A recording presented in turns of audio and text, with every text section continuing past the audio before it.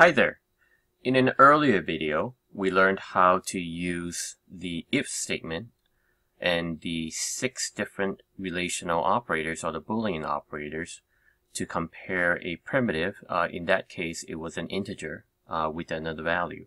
In this video, you'll learn how to do a similar thing with strings. Because strings are classes, you have to use uh, uh, different uh, operators uh, and uh, methods in order to do the same type of comparison and not the relational operators. So let's get started. We're going to create a new class. Call it string equals. Okay. First thing we're going to do is say in class right here. So I always want to leave that comment. Next thing we're going to do is start our uh, static void main method. String left bracket, right square bracket, args, and then our curly braces. Then right away we want to do n method main. Alright, very similar to what we did in the if statement class earlier in the other video, we're going to define a string and then do a comparison with it using the if statement.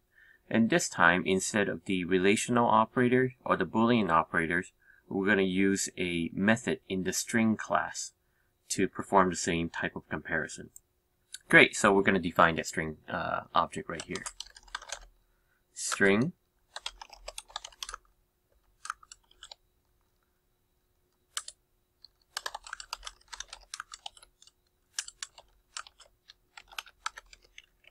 And we're going to just, um, normally you wouldn't say ABCD for password, but uh, we're going to say that this is a good password.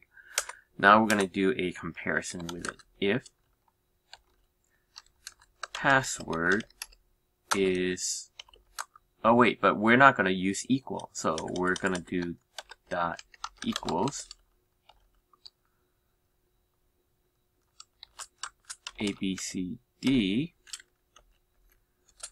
so notice that there are two sets of parentheses here. This first set right here this one and this one they go together for the equals method call from the password, uh, this string object right here, uh, called password. So notice the dot notation right here.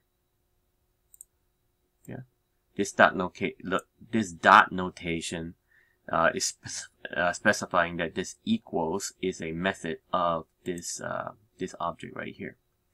This other set of parentheses is for the this boolean condition right here. So, so just like the other one, the other um, integer comparison, we're going to say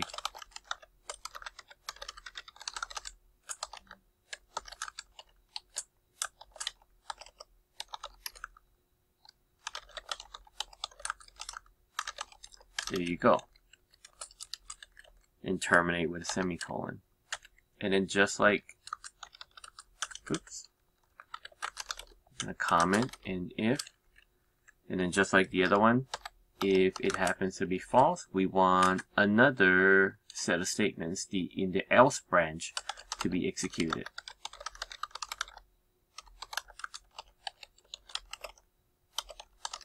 Is not correct in this case. Alright, so let's build this. Well, let's have a look at this first. Okay, so this uh, this if statement says that if the password, which was assigned a value of ABCD earlier, is equal to ABCD, then it will execute uh, well, it will execute everything in, be in between these two curly braces right here. Right now, it just happens to be one statement, which is it will print out to the console, to the system uh, out, password comparison is correct. Now, if this does not result in a true condition, a, uh, in other words, a false condition. If, if these do not equal, then it would print this out instead. Great, and that's it if uh, for the if then else comparison with a string.